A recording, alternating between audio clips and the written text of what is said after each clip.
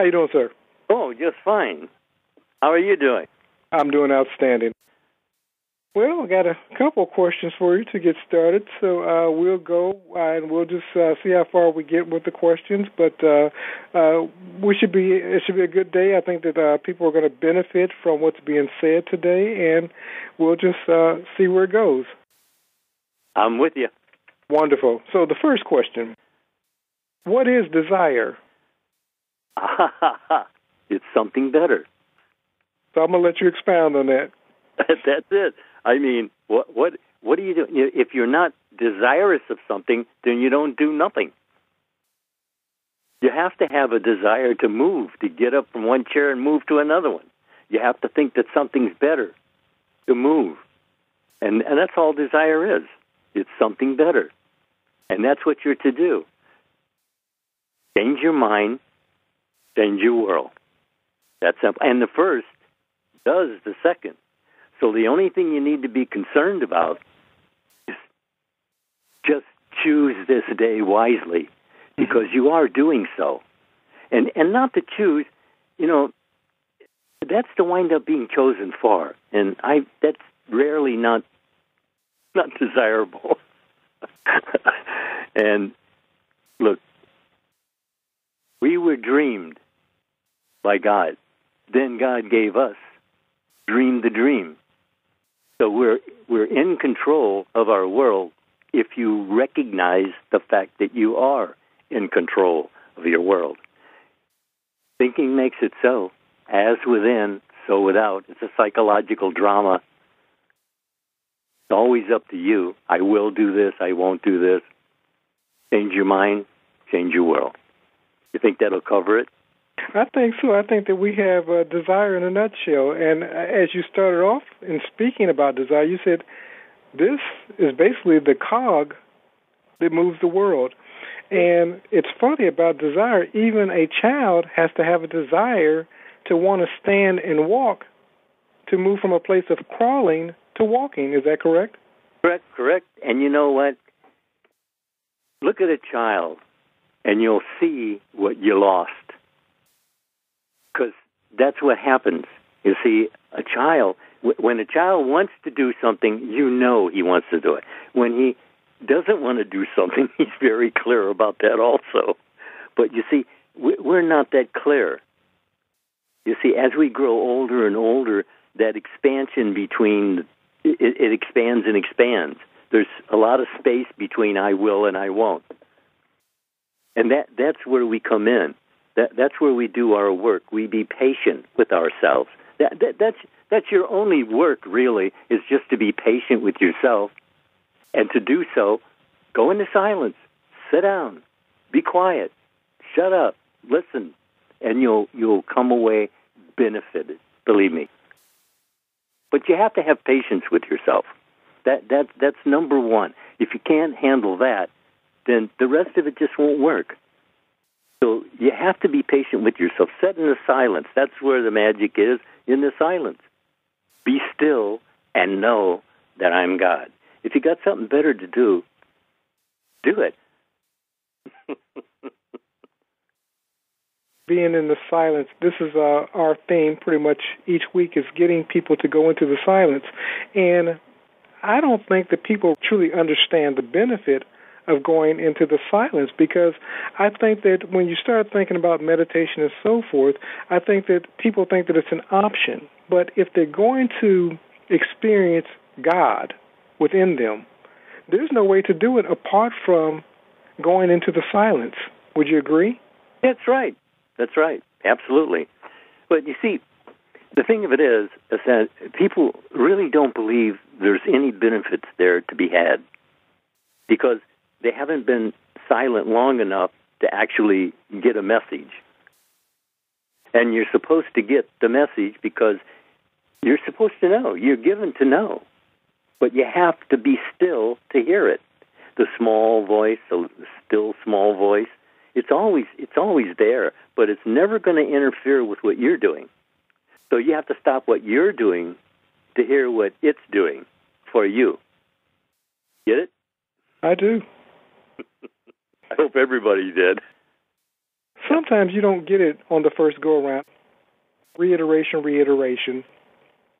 Somebody said recently, Lindell seems to be talking about the same thing.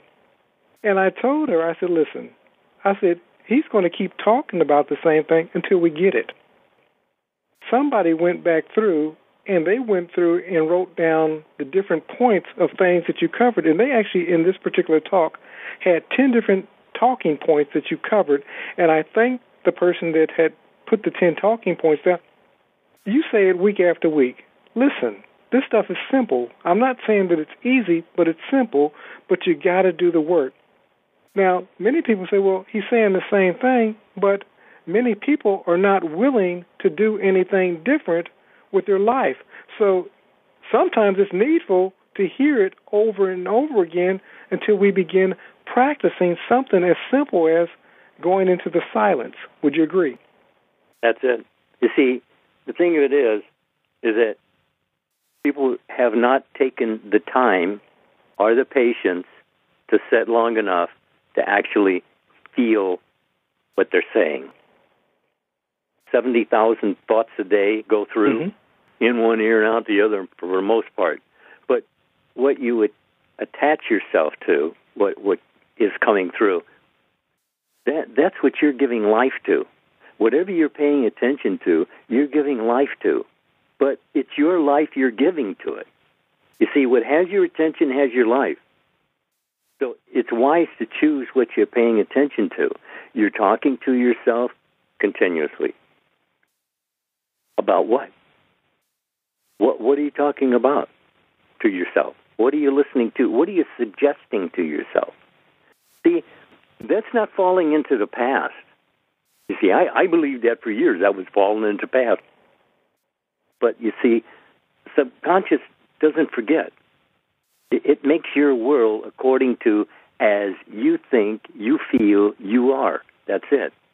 So if you change your thinking, it says change your mind, change your world. That's you changing your mind. That, that's all there is to it. You, don't have to do anything on the without. It's all within. It's a psychological drama. A play of humanity is just that. It's a virtual reality. It's out of the mind of man that everything. Well, look, look around you. Everything around you had to be imagined. That's the magic of it all. Imagining creates the realness drama man. Play it to the hilt. You're given whatsoever to choose from. That should be wide enough. Don't you think? Absolutely. Now, you know, it's funny. Uh, we were talking about uh, reiteration, reiteration, repetition, repetition. For the last few nights, I've been listening to one of Neville's programs, and it's called the uh, Pruning Shears, yeah, the, oh, the vine. You know, speaking of the vine and the pruning shears and so forth, and uh, he speaks about a point in Scripture where Scripture says where either you stumble upon this rock or this rock will fall upon you and crush you, or you stumble upon it, and of course you'll be fragmented.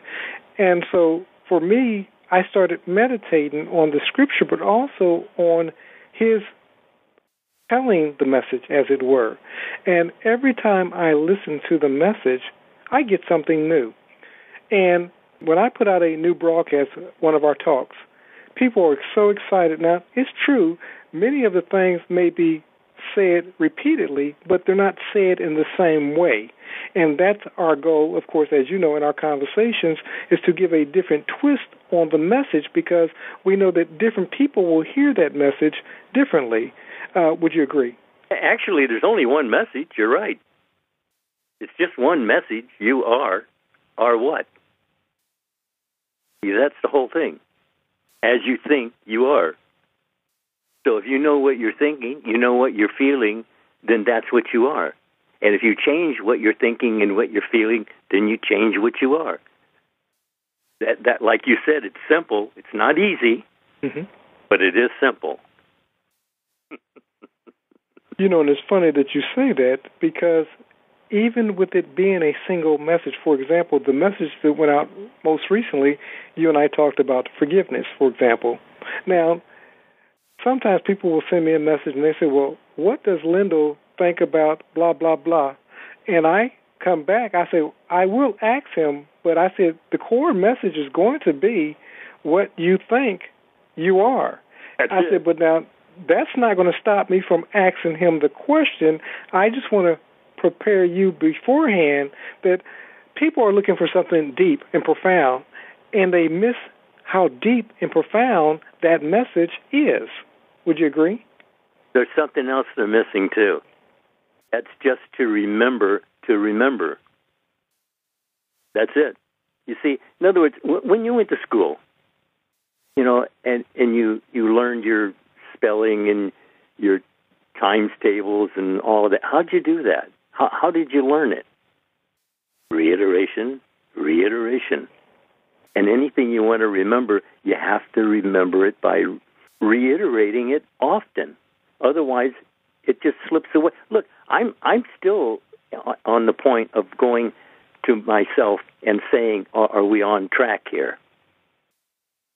See, because sometimes I'm not, and then you get back on track real fast. And the track is, I am that what your desire, dream, mission, goal is. That's what you want to think upon. Think upon things that are lovely and of good report. And I found that if you do that persistently, well, not all the time, but as persistently and consistently as you can, because I know I know we're not aware all the time. I'm very aware of that. I'm sure you are too, aren't you?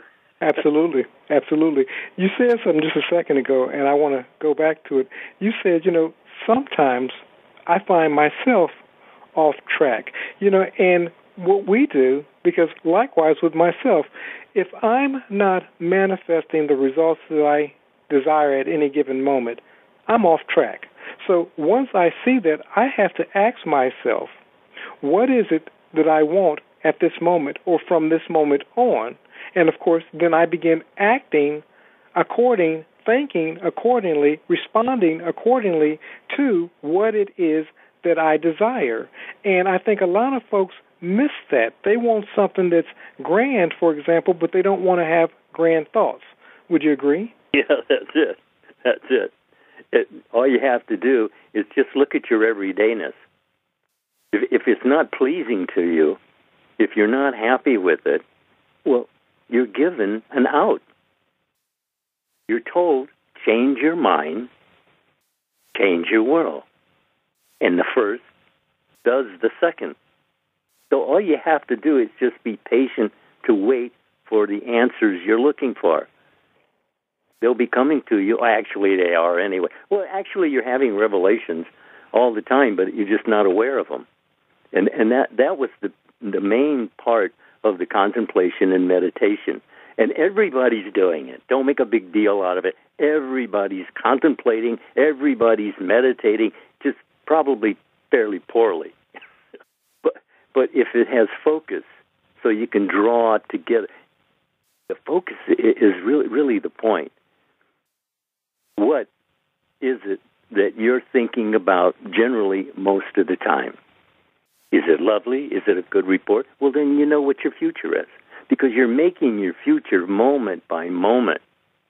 So do it wisely because it is so. It is the self pushed out into the world of experiencing. And we're told that the world on the without is all secondhand, and you're the one who has the ideas.